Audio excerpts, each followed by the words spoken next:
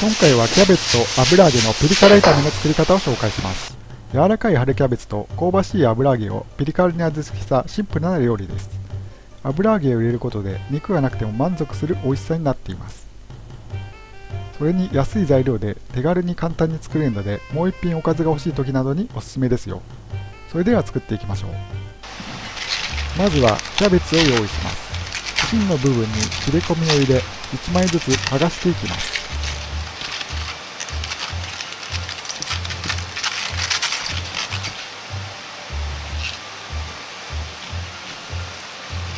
そうしたら真ん中の芯をカットします。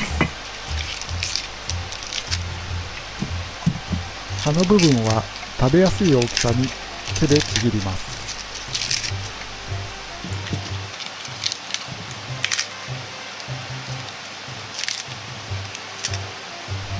芯の部分は包丁で叩いてから柔らかくして薄くスライスします。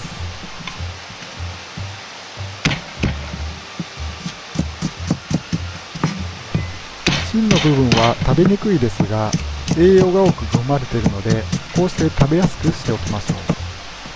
キャベツは 200g 用意しまし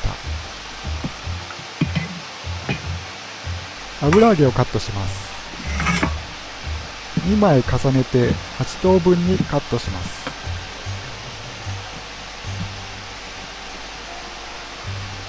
このように四角く切ります。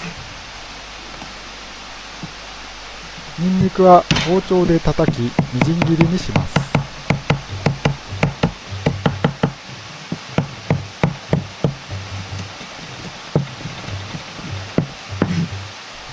少し粗いくらいのみじん切りにして存在感を残します。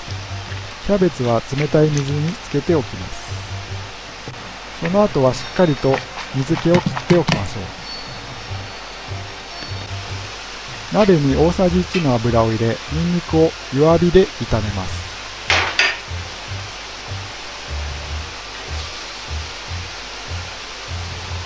弱火でじっくりと香りが出るように炒めます。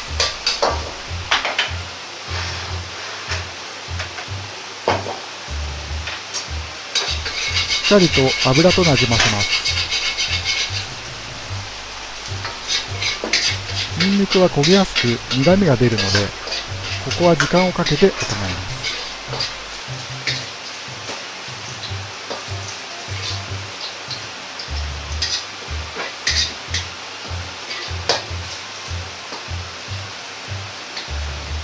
だいたいこのくらいの色になったら一旦引き上げます。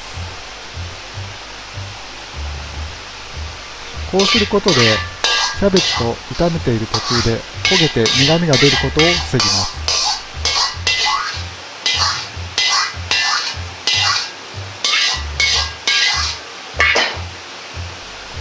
油にもニンニクの香りがついているので取っておきます。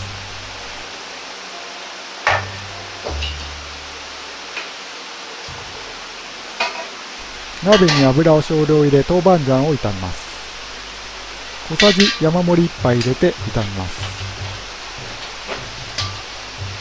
豆板醤はしっかり炒めると香りや旨味が増します。逆に炒めていないと生臭く塩辛い味になります。このくらいしっかりと油となじませるようにします。ここに油揚げを入れ軽く炒めます。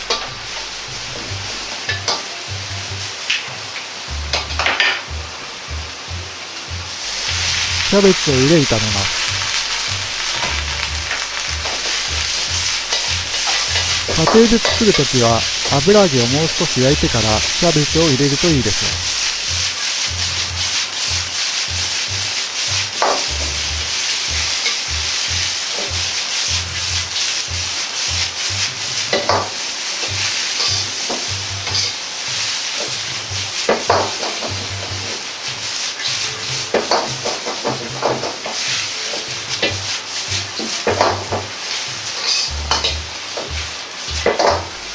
キャベツの表面にしっかりと油が回ったら紹興酒または酒を大さじ1 2分の1入れます。醤油を大さじ1鍋肌から香りが出るように香ばしさもプラスします。スープまたは水を 50cc 入れます。ここで水分を入れることで油揚げに味が染み込み美味しくなります。砂糖を小さじ1入れ甘みを足します。胡椒を振りかけます。お好みで味の素を少量入れてください。ニンニクと油を入れて絡めます。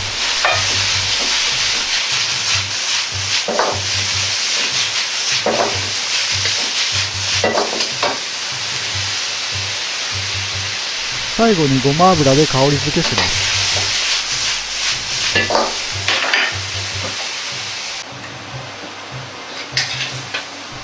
皿に盛り付けます。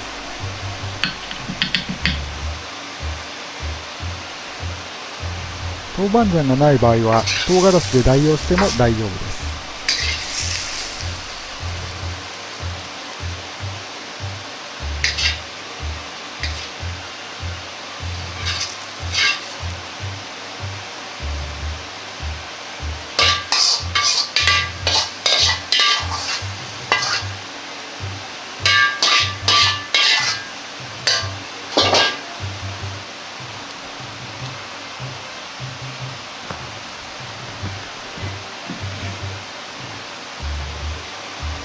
ここからお好みでさらにラー油をかけると美味しくなります。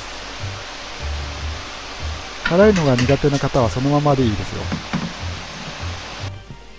今回はキャベツと油揚げのピリ辛炒めの作り方を紹介しました。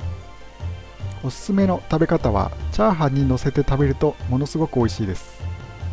チャーハンは卵とご飯のシンプルなもので十分です。チャーハンの詳しい作り方の動画は概要欄にありますので合わせて見てみてください。もちろんそのままおかずとして普通に食べても美味しいです。このチャンネルでは簡単なまかない料理や本格的な中華料理の作り方を紹介しています。よかったら高評価とチャンネル登録をお願いします。リクエストなどがありましたらコメント欄にお願いします。それでは失礼いたします。